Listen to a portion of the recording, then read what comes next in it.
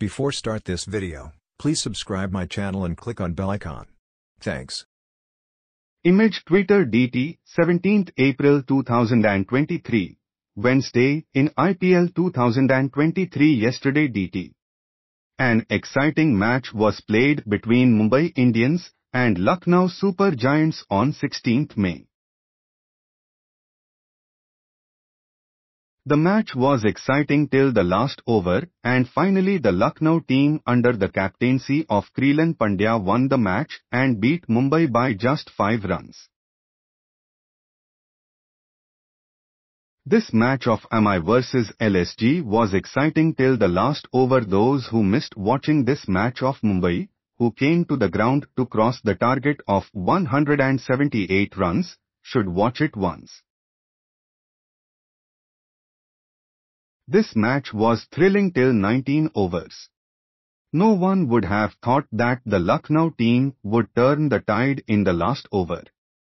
Fast bowler Mohsin Khan proved to be the real hero for this team's victory. That changed the whole game in the last over. This thrilling match was being played in Lucknow. 11 runs were needed for victory in the last over. In the last over, Mumbai team needed 11 runs to win. After that, Krilan Pandya bowled Mohsin. Cameron Green was on strike and Tim David was on non-strike then. During that David scored 29 runs in 17 balls. And in that Mohsin adopted his own strategy and bowled according to the new style and kept both the batsmen at bay. Due to which the Mumbai team could score only 5 runs in 6 balls. Lucknow had set a target of 178 runs in Mumbai. Captain Rohit Sharma won the toss and decided to bowl first.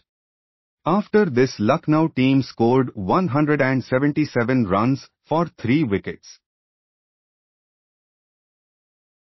In which Lucknow's all-rounder Marcus Stoinis scored 89 runs in 47 balls and completed his half-century innings. Stoinis hit 8 sixes and 4 fours in his aggressive innings. Along with this, Krilan Pandya scored 49 runs in 42 balls and got out. And Jason Behrendorff took 2 wickets and Piyush Chawla took 1 wicket. Thanks for watching. Please subscribe for more sports updates.